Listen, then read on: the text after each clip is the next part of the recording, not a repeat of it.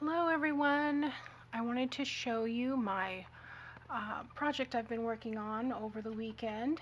Um, this is the Stack of Letters journal.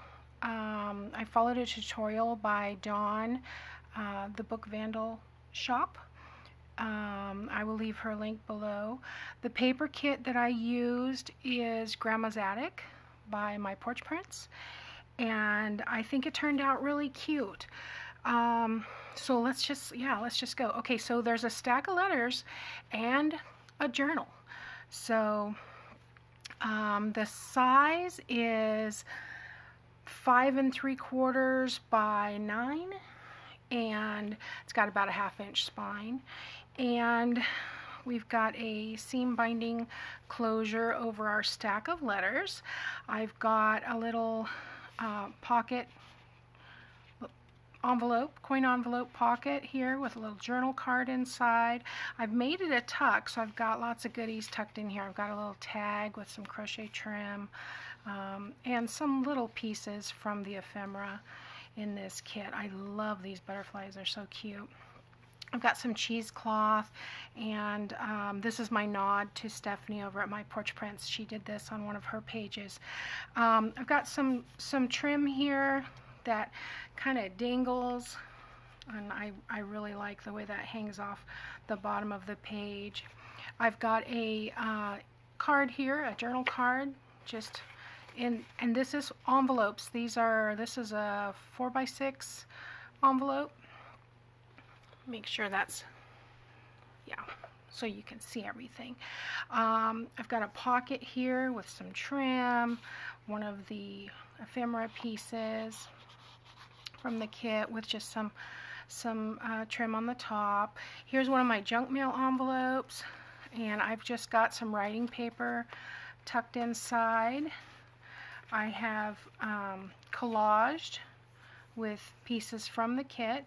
Um, I edged, edged, aged, distressed. That's the word I'm looking for. Distressed everything with um, kind of a, well, a pink color. It's Pixie, close to my heart, Pixie. So I'm not sure what that uh, converts to uh, Tim Holtz wise, but just very a pale uh, pink color and um, distressed everything in that um, because the papers were already distressed.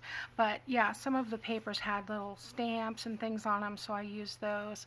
Um, then on this side I've taken a piece of lace trim and um, I've glued in the middle and around the edges to make a couple of pockets here. Here's some small tags with just some um, cotton trim on the top. And excuse me, I should have gotten a drink before I did this. Um, I've got a larger um, return envelope that I've used for this one. I, again, collaging from papers from the kit. I've got the pink butterfly, and I just tied some, um, this is some really cool thread, and I love the thread. I don't know what I've done with it. I thought I had it laying here. Oh, here it is. I love this thread. It's shiny, but the thing that I have the hardest time with is you cannot tie a knot in it. It just comes right out. So uh, his head got a little larger than I had anticipated because he kind of loosened up after I applied the glue, but he still looks okay. I like it. On this side, we've got um, um, that's the back of that envelope and I've just trimmed it and then we've got another tuck spot with a piece of ephemera from the kit and one of the tags and another piece with a rose. I love I love that picture. I think I should um, I need to enlarge that for my living room. Um, here's a 5 by 7 envelope. I've, I've taken one of the tickets, added some trim. All of these are papers from the kit that I've covered the envelopes with, and I've just made this into a tuck spot. Um, and when I'm hoping I can if I stay in the center, you'll be able to see everything. As this flips out, I've got a larger pocket. I've done a little bit of collage with some cheesecloth, some trim. There's a larger tag and um, another journal card there. And then in the center of this, I've taken, um, in the middle here, I've got Um, I've just covered that with one of the background pages, but it, the kit came with several envelopes and, and different things, and I took and did a deconstructed envelope here. This is the pocket from the center of the envelope, and this uh, I made into a tuck. Excuse me. And so I've just got some more writing paper. Um, that's a full sheet, 8.5 by 11. And just some ephemera cards tucked in here. So, um, yeah, I really like, and let's see if I can remember how I wanted it closed. Yes, like that, because I want this on top. Um, I really like how this letter stack turned out.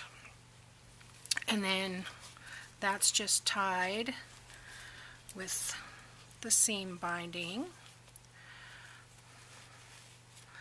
And then on this side, I've got a seam binding closure for the journal. Now, I haven't done an awful lot. Actually, I haven't done anything to the to the journal itself. Um, I've got a, a pocket here um, that has, you know, some ephemera in it, some tags, some writing paper, that in that pocket. And then what I've done is taken some of the back, these are beautiful background pages, and just tucked them in here with some doily, um, journal paper. You can see these papers are really cool.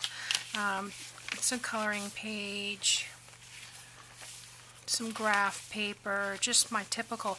And then I chose a center piece um, and I attached it to the writing page before it, and that made like a little um, pocket. I just glued the top and the bottom and, and here. Um, and I've attached, um, attached, inserted a piece of paper there. I put an envelope in the center, and so I've got another piece of a couple of writing booklets tucked inside of it. And then there's the other pocket with the writing paper. But other than that, um, I left it blank for writing because there's so much, you know, on the front. I do have a back pocket with um, some writing paper. There we go. And there's another postcard and an old calendar from 1916 and then a couple of tickets here. But um, I didn't do anything to the back. I left it as is. There's so much going on on the front um, that I didn't want anything else to compete with it. So I'm just tie that on the side with the seam binding and that turned out really cute. Um, I will leave Dawn's link below and also the link to um, Grandma's Attic by My Porch Prints. So thanks for watching guys. I'll see you next time.